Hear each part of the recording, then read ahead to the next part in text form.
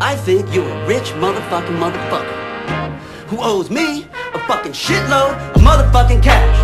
That's what I think, you rich motherfucking motherfucker. You want some blow, motherfucker? You bring me my motherfucking